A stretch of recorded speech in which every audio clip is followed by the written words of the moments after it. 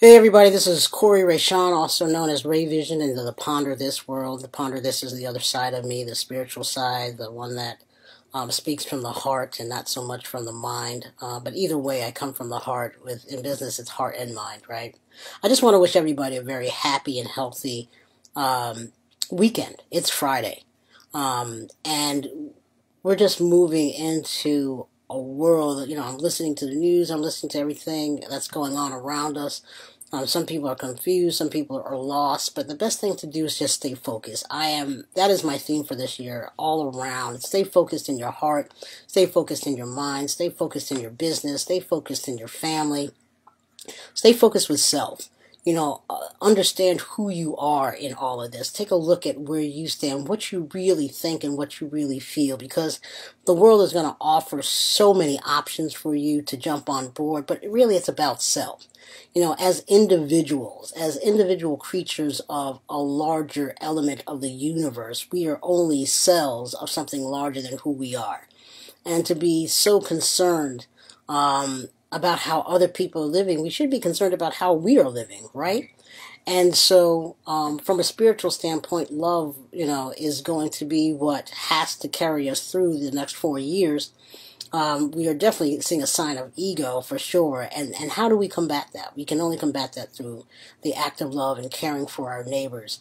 Um, love thyself you know, or love your neighbors as thyself, right? And love uh, love God with all your heart, soul, and mind.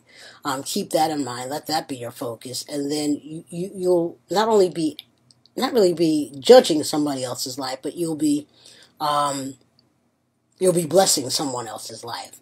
Um, if you think that way, you know, your rights as an individual should be the same rights as some other individual, well, however they live, as long as they're not bothering or killing or, you know, you know, uh, hurting anyone else and they just want to live freely. That's what we should all be thinking about. How can we all live freely and independent? Um, uh, but freedom is really the act of love, and it's the greatest gift of all, which is love. So, um, I'm saying all that to say, be good to yourself this weekend. You know, start learning yourself in the days ahead. Find out who you really are. We've been told so much. We've been seeing so much. Images around us are giving so many, so many um, ways of thinking that are not really ours from from the internal aspects. You know, they're not ours. Um, so claim your belief, claim your faith, claim the understanding of who you are. You know, go inside and and process your thoughts ask yourself why you even believe in them. You know, what caused you to? Was it because someone said something to you?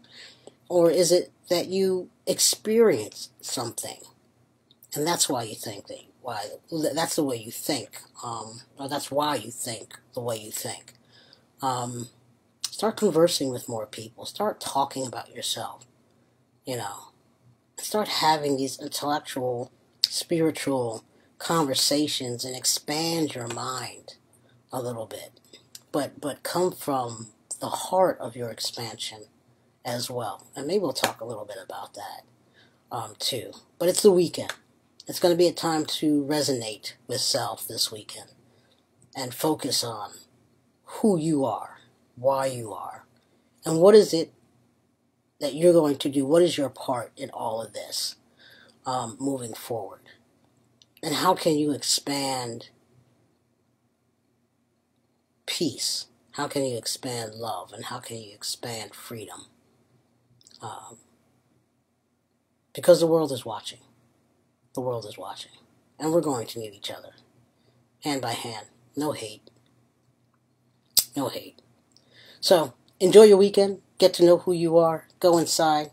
Um, if you meditate, meditate. If you pray, pray. If you go into silence, go into silence. If you need to conversate, conversate. Do what it is to, for you in order to expand you and know yourself. And come at it from the heart. Remove the mind. Come at it strictly from the heart. A place of love. Peace.